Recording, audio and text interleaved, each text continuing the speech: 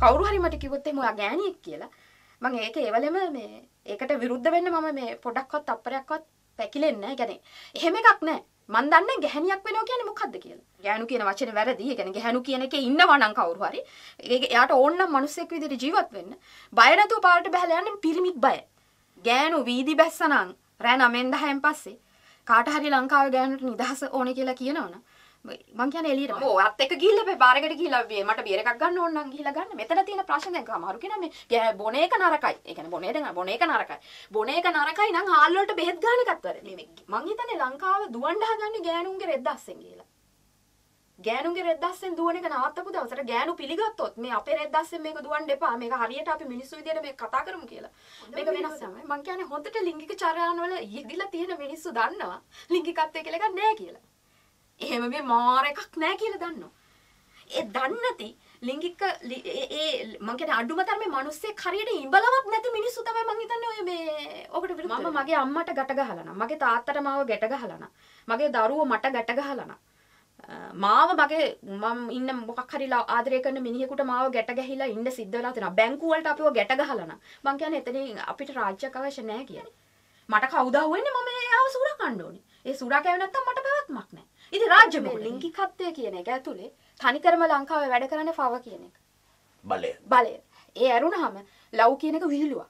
Love කියන එක අපි අල්ලලවත් නැහැ. අපි දැකලවත් නැහැ. මම මම හිතන්නේ සෙක්ස් කියන්නේ සෙක්ස් ලව් කියන්නේ ලව්. ශරීරය සහ ආදරය අතර ලොකු වෙනසක් තියෙනවා. ඒ දෙක එකක් වෙන්නත් පුළුවන් නොවෙන්නත් පුළුවන්. එකක් වුණා කියලා ඔබේ ප්‍රශ්නකුත් නැහැ. මට ප්‍රශ්නකුත් නැහැ. සත්තු අහන්නේ නැනේ ගෑනුන්ගෙන් මේ ගෑනු සතාගෙන් මේ ඔයාත් එක්ක මට ඉන්න පුළුවන්ද හරි මොකක් හරි ඔය අටමග මුකුත් නැහැ ඒක හරිම බලෙන් කරන වැඩන්නේ හරිද එතකොට මේ බලහත්කාරය ලස්සන කරලා දින හැටි කොහොමද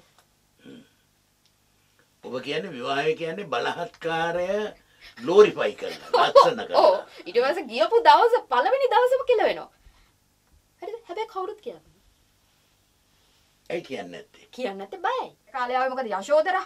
බුද්ධ පතිවෘතාව මොකද්ද? මේ වාක්‍ය තේරුමවත් මට නම් තේරෙන්නේ නැහැ බුද්ධ පතිවෘතාව කියන්නේ මොකද්ද? පතිවෘතාව කියන්නේ මොකද්ද කියලා මට තේරෙන්නේ නැහැ. එතකොට වචනේ ඇතුලේ ඉන්දියාවේ කොච්චර ගෑනුද මේ ගින්නට පැන්නද? සති පූජා. සති පූජා කරන්නේ. එතකොට මේ අධ්‍යක්ෂකයා කොච්චර ප්‍රචණ්ඩද? හැබැයි අපේ උපාසකම්මලා ගිහිල්ලා මේගොල්ලෝ දන්නේ නැහැ ඒගොල්ලෝගේ සිරුරු වලට මේ අතාරින්න ප්‍රචණ්ඩත්වය කියලා. මෙහෙම හිතන්නකෝ. මගේ අත අද කැපෙනවා. මට තුවාල වෙනවනේ. මේ තුවාල වෙන එක රිදෙනවනේ. මිනිස්සයාගේ තියෙන හැම ස්වභාවයක්. රිදෙනවනේ. ඊළඟ දවසට මට මේ කැපෙන එක ඕනේ. අපි රිදෙන එක එන්ජොයි කරනවා. අපි පීඩනය වින්දනය කරනවා. ඒක මනුස්සයාගේ ස්වභාවය. ලෝකේ මිනිස්සු තරමටම ආගම් තියෙනවා. ඒ කියන්නේ මිනිස්සුන්ගේ විශ්වාසයන් එකිනෙකට වෙනස්.